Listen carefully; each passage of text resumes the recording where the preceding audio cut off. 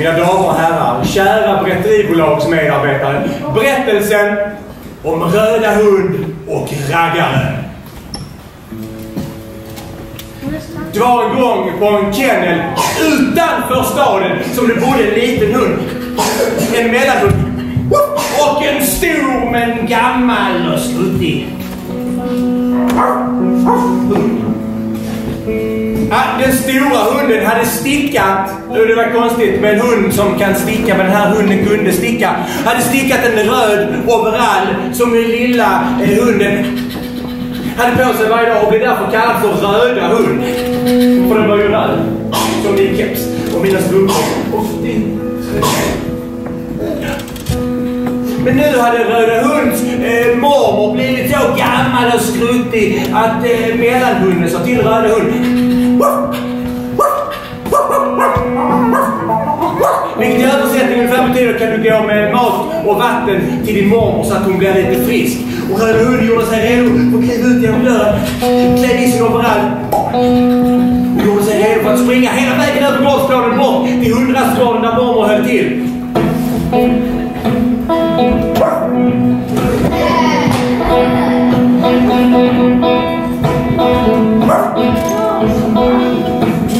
När Röda Hunden kom ungefär halvvägs över eh, hundrastklassen så kunde man höra rockmusik i fjärran. Och buller som från en eh, motor på en sportbil.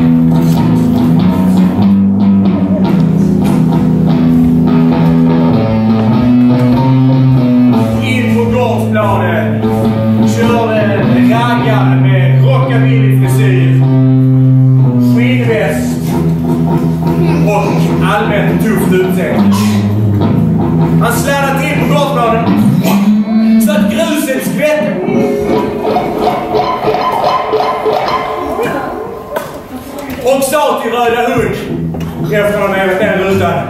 Tjena! Röding, vad är du på väg? Jag ska till mormor med, med hundfoder och vatten. Lite sjuk.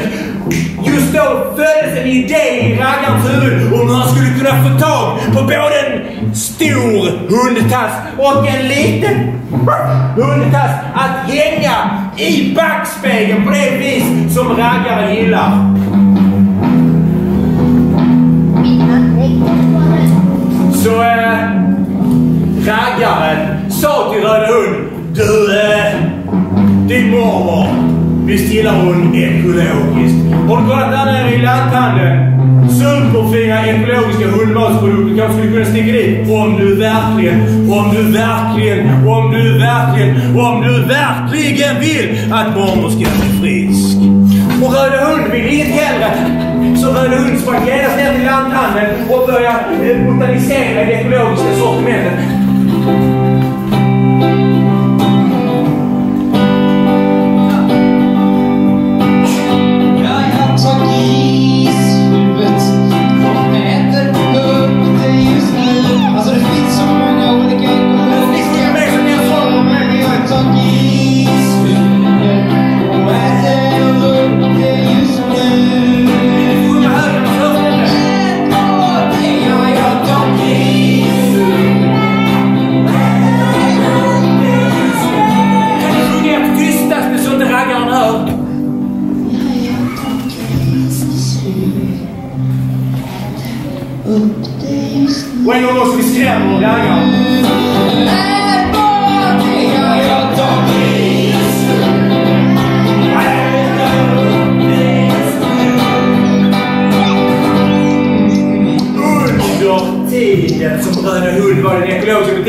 Så körde raggaren sitt snabbast över gårdsplanen.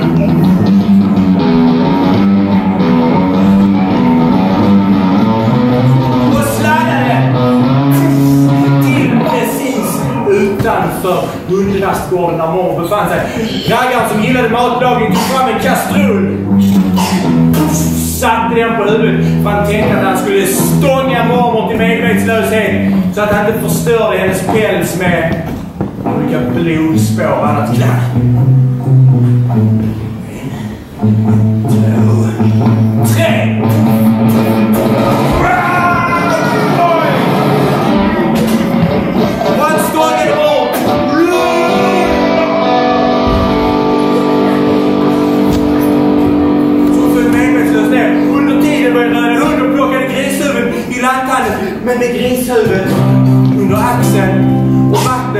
Eller under armen. Och under armen så sprang Röde vidare bort till hundrastålet.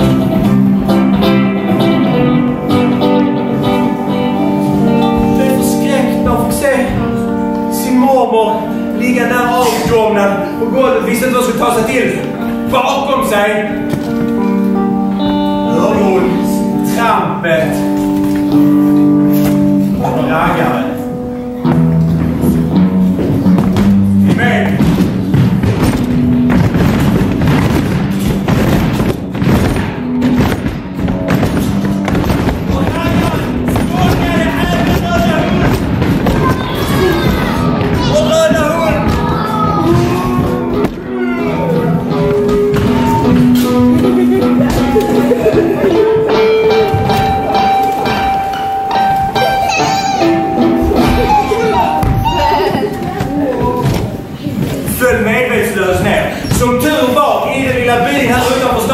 Så fanns det en familj som hade en lägenhet och hade inrett till ett litet zoo. Och från den lägenheten hade en liten sköldpadda rymt. För åtta dagar sedan hade nu kommit de 12 meter bort till kenneln. Mm.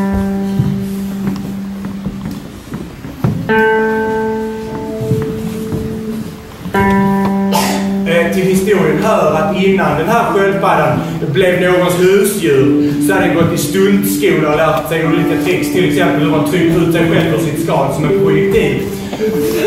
Så när, så när eh, sköldpaddan fick höra det där fasliga livet eh, från folk eller hundar som stångades till medvetslöshet så gjorde sig sköldpaddan redo att med sina små sköldpaddsarmbågar trycka sig själv ur sitt eget skal.